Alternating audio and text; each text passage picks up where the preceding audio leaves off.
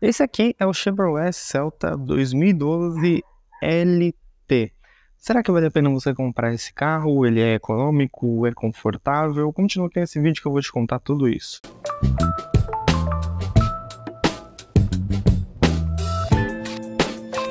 E aí galera, tudo certo? Eu sou o Gabriel Daço do canal Diciotex, Dicionário da Tecnologia, que te ajuda a fazer sempre a melhor compra pelo melhor preço. E hoje, pessoal, estamos aqui com ele, com o Chevrolet Celta LT 2012. Bom, o Celtinho foi fabricado aqui no Brasil de 2000, na sua primeira versão, onde ele veio com a proposta de ser o carro mais barato do Brasil, até 2015, quando ele morreu ali praticamente sufocado pelo seu irmão Onix. Mas enquanto o nosso grande Celtinha aqui esteve sendo fabricado, ele foi um dos melhores carros econômicos desse país. Então já vai deixando um like aqui nesse vídeo, se inscreva no canal que é extremamente importante e vamos falar sobre esse cara que aqui está na sua terceira geração. Sim, na sua terceira geração, porque o Celta teve três gerações basicamente. Ele teve a sua primeira geração lá em 2000, onde era um projeto é, bem feio, um projeto bem barato, e depois em 2006, se não me engano, ele sofreu um facelift, ficou mais parecido com esse aqui, com essas lanternas é, maiores, e depois, em 2012, que já é esse modelo, ele sofreu outro facelift, né? Então aqui nesse modelo 2012 a gente já tem alguns cromados, a gente tem aqui a máscara negra é, no farol. Então esse aqui é um projeto de Paulo Cono, que é um arquiteto brasileiro, ele foi feito na planta da GM no Rio Grande do Sul e ele usa uma plataforma da GM, que é a GM 4200, a mesma plataforma lá do Corsa B. O único problema da plataforma desse carro aqui é, na verdade, a falta de espaço interno. E eu vou mostrar isso para vocês. O espaço interno no nosso Celtinha aqui é bem complicado. Mas um dos pontos positivos dessa plataforma é que é um carro extremamente leve, ele pesa cerca de 860 quilos, o que é essencial para você ter um carro econômico. E assim, essa plataforma GM 4200 foi usada no Corsa, no Corsa B, na Montana, no Agile, tem uma série de carros da GM que usaram a mesma plataforma do nosso Celtinho. Ele tem aqui rodas Aro 13 e o mais legal é que o Celta, como a gente conhece aqui no Brasil, ele foi exportado para vários países, então ele é um projeto brasileiro mas que foi também para Argentina, para o Uruguai, foi também para Jamaica, todos os países de terceiro mundo, claro, mas é um projeto brasileiro da GM que se espalhou pelo mundo. Inclusive na Argentina esse cara aqui não é vendido como Chevrolet, ele é vendido na Argentina como Suzuki Pan e tem um motor 1.4. Ele também teve uma versão 1.4 aqui no Brasil, mas é que acabou vendendo mais é 1.0. Bom, esse carro aqui é um carro pequeno, extremamente leve e apenas para o uso urbano, tá? Você consegue sim pegar uma estrada com ele, mas como ele tem um câmbio com relações muito curtas, você fica ali a 110, 120 por hora com um motor em rotações muito altas. Então, realmente ele é pensado para um uso urbano dá para você pegar uma estrada, não estou falando que não dá, mas é, parece assim que vai desmontar. E aqui, pessoal, no coração da máquina, no coração da fera, nós temos então um motor VHCE.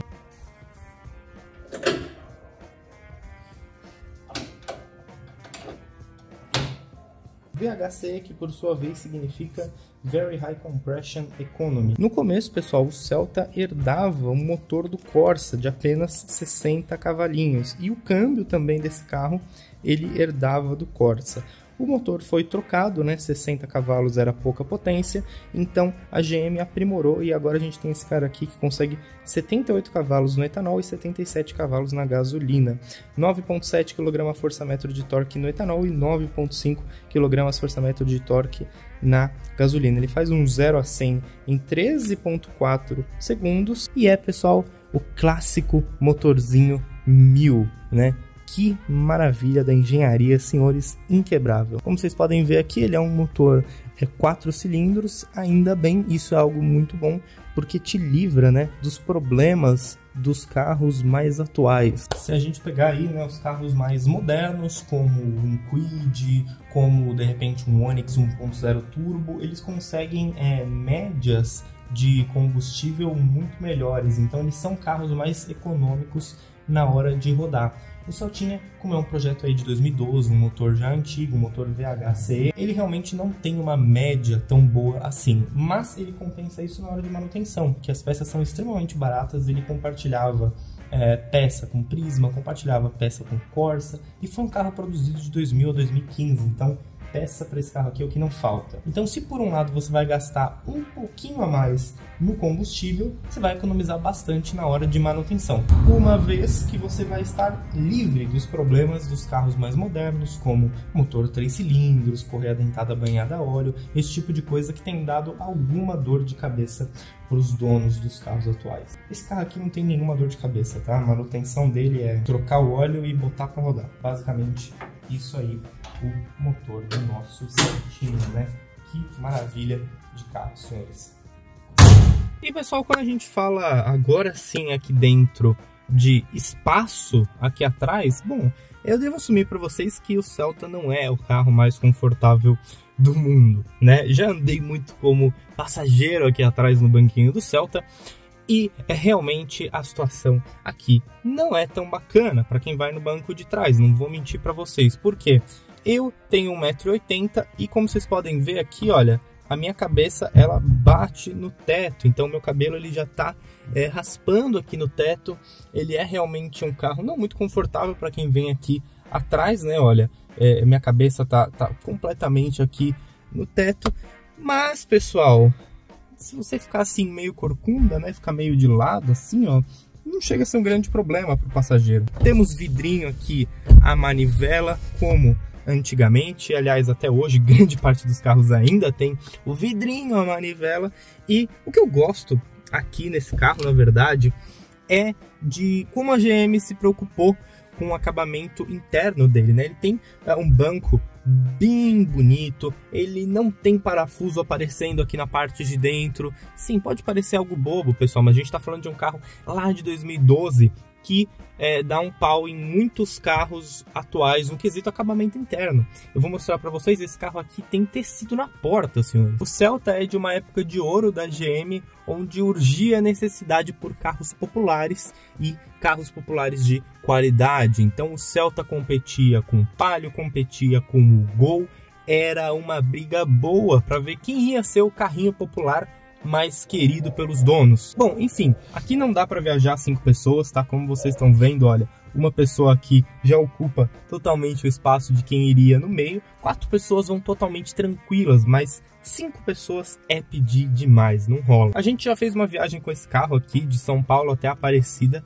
com cinco pessoas, tá? Já deu para fazer sim, mas é aquilo. Quem vai no meio chega sem sentir as suas pernas, porque tem que ficar todo encolhido. Dá para ir cinco pessoas? Olha, não dá, tá? Não dá. E a pessoa que vai no meio vai esmagada, mas fazer o que, pessoal? É um carro, um carro popular de 2012. Vocês não queriam espaço interno de um SUV, né? Abri aqui o vidrinho, a manivela, pessoal, e olha que bacana, né? A gente tem tecido aqui na porta, a gente tem todo um acabamento muito bem feito, não tem parafuso aparecendo aqui, a GM se preocupou em tampar os parafusos, tem aqui cinto de três pontas, não tem cinto de três pontas para quem vai no meio, mas vejam só vocês, né, como é um carro é, bem feitinho, completinho, né, mesmo sendo um carro popular, ele não tem nenhum, de nenhuma forma um desleixo no acabamento. Olha aqui o espaço dos pés para vocês verem, né? Ó, tem um túnel central relativamente alto, mas é ok, né? E pessoal, o bacana do Celta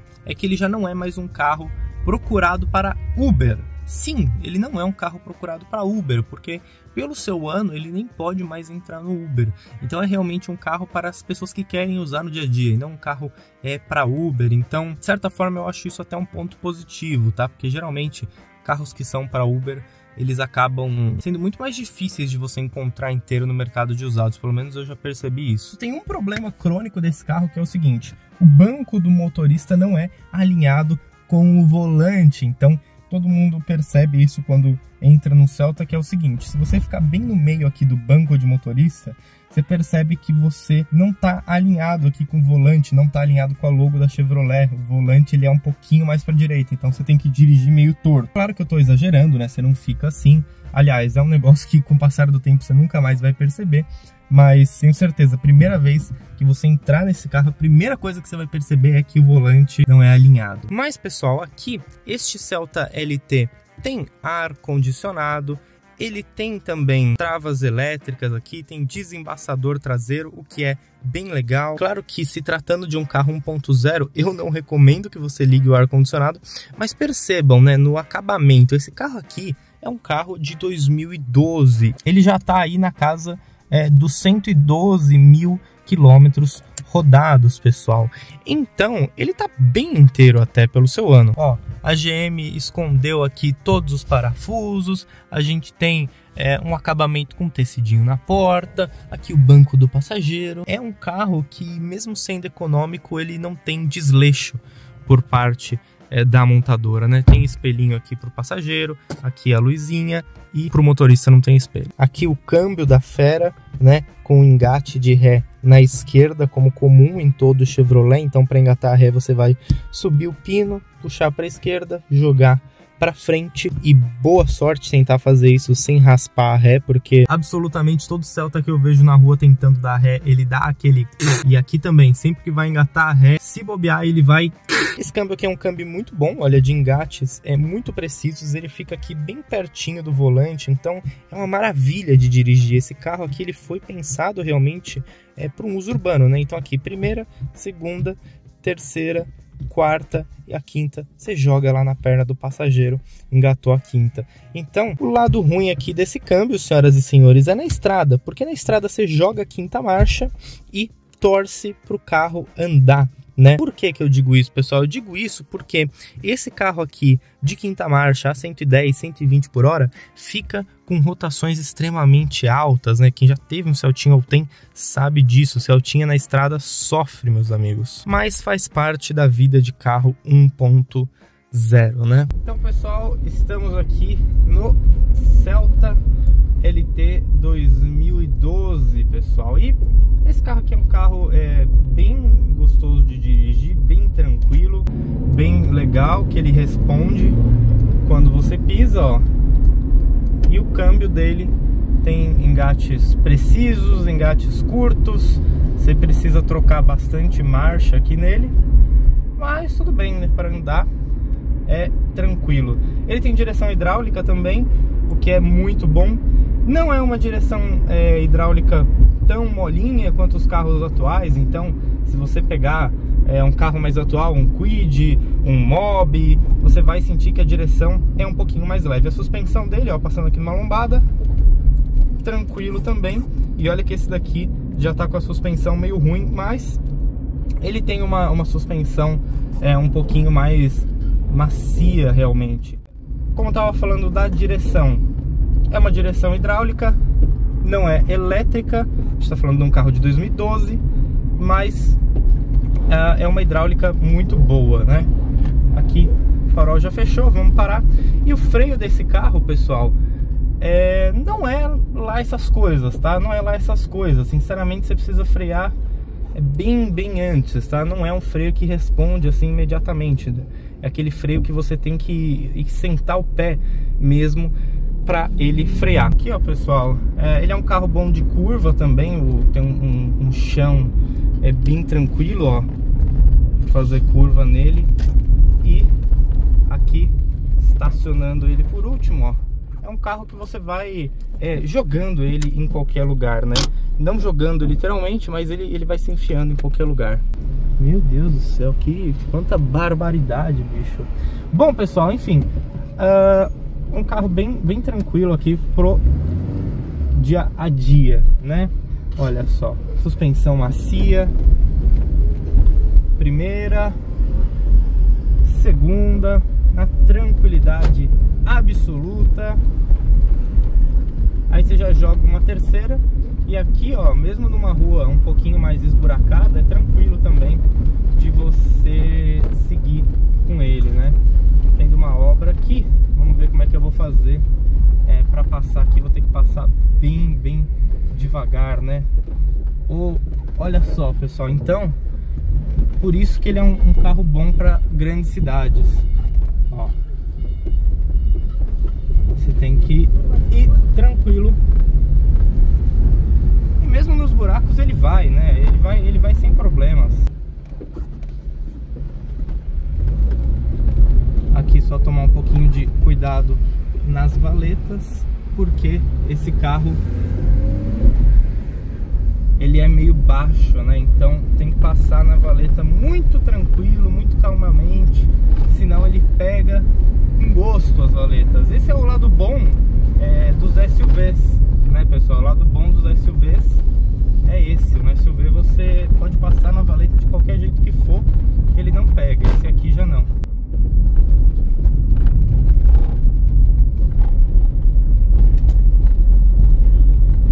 Olha, é um carro bem tranquilo de, de retomada. Deixar o pedestre passar aqui, né? O rapaz acabou de adquirir um Playstation 5. Que isso? Ele tá andando com um Playstation 5 na mão, assim? Não é possível isso, senhores. Não é possível isso.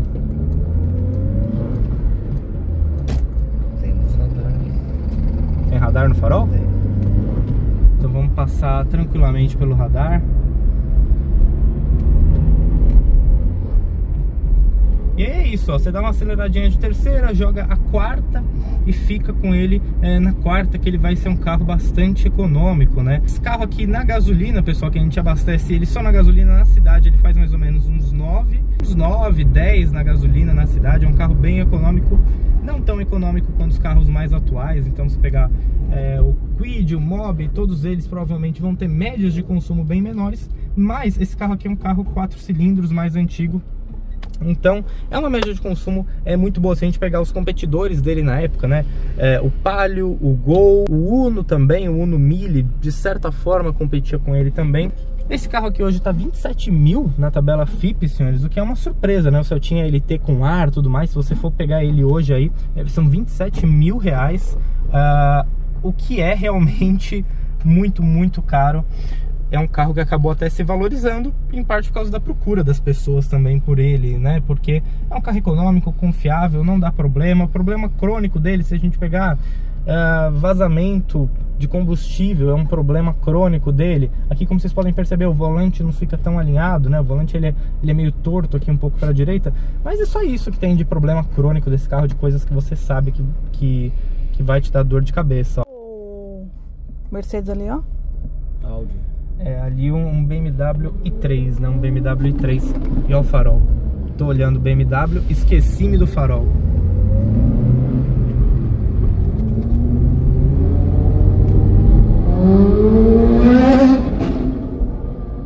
Nossa senhora. Tá bom então, né? Pra que isso, né?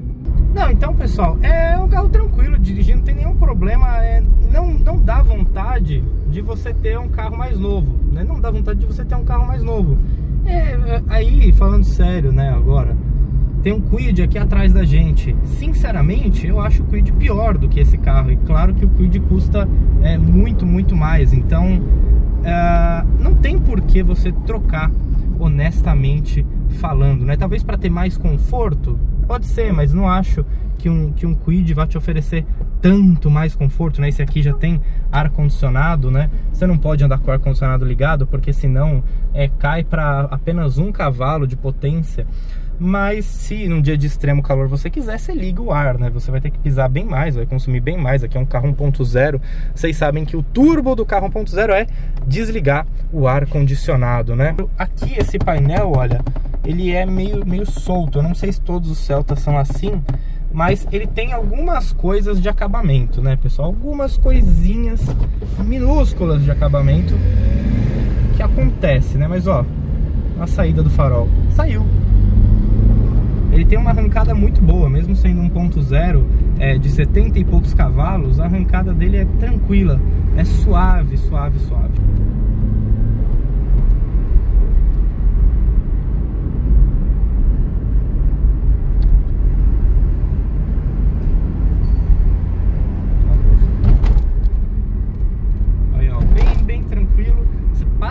Nas bocas de lobo e vai que vai na boca de lobo, entendeu? E numa boa, numa boa, numa boa. Ó, aqui a gente tá mais ou menos a 50 por hora de quarta e ele tá abaixo das 2.500 rotações, deve estar tá aqui entre 2, 2.300, né? Ah, de quarta. Aqui a gente vai pegar agora uma subida, eu vou vir mais ou menos embalado aqui, né? a, a 50 por hora. E pessoal, ó, subi com ele, ó, tranquilo. Eu não tô nem pisando mais, né? Não tô nem pisando mais, ó. E ele tá indo tranquilamente é, de quarta marcha a um pouquinho mais de 50 por hora e a 2.500 RPM, como vocês podem ver aí, né? Tá bem de boa aqui já descendo. Então vocês viram, a gente tá com três pessoas a bordo. Se você vem aí embalado a uns 50 por hora, pessoal, é, não tem absolutamente nenhum, nenhum problema. Na verdade, eu acho que talvez o único grande, grande problema desse carro seja o seu espaço interno. Ele não tem muito espaço interno, né? Uh, tanto para o passageiro de trás, quanto também a gente, quando a gente fala do porta-malas, né? É, não tem mesmo um espaço interno muito bom. É, não, e aqui pro, pro motorista é muito tranquilo, né? Eu tenho 1,80, ó, mostra aqui o, o espaço dos joelhos, ó é tranquilo. Num mob, o meu joelho ficaria batendo aqui na frente, que é o que acontece com mob geralmente. Você, quem é mais alto, já tentou entrar no mob no quid, o joelho fica batendo aqui na frente, é um negócio impressionante. Não importa o quanto você coloque o banco para trás, ele vai bater é, o joelho ali. Então a posição aqui de dirigir é muito boa, até para quem é alto, né? Isso que é legal. Ele é um carro compacto, mas quem é alto consegue também tranquilamente é, dirigir este carinha aqui. E ainda eu não tô com o banco tudo para trás, né? Eu não tô com o banco tudo para trás. É, eu poderia colocar o banco mais para trás, ficaria mais tranquilo ainda, mas se você é alto e tá, nossa, será que eu caibo no Celta? Cabe, cabe, o motorista cabe. Só não cabe os passageiros, mas os motoristas cabem sim é, numa boa, pessoal. Então, ó, saindo aqui do farol mais uma vez, porque em São Paulo é basicamente só isso que tem. passar aqui numa lombada e falando no mob, olha ele aqui na frente, né? Aí passa tranquilo na lombada. Esse carro aqui ele tá com 112 mil quilômetros é, rodados e a suspensão dele, né, o amortecedor dele, aliás, é tá original, pessoal. Tá praticamente original, ó. E passou na lombada é, sem grandes problemas. Vou entrar à esquerda aqui, né? Ó, entrando aqui. Vou te dar uma pisadinha nele, ó.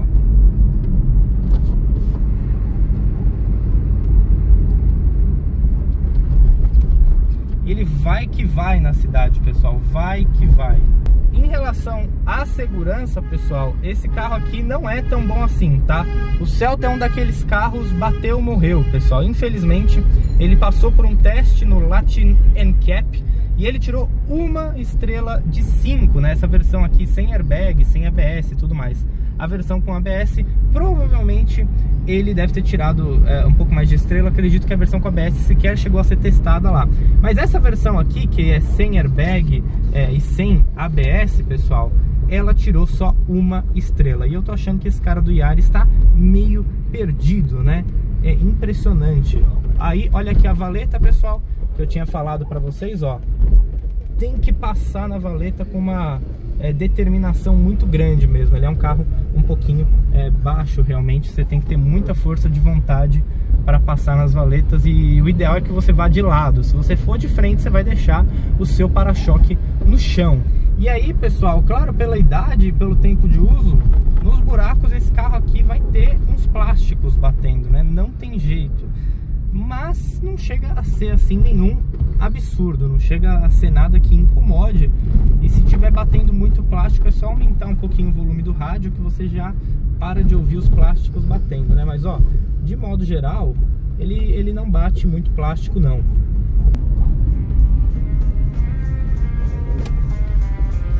E chegamos aqui então ao nosso destino.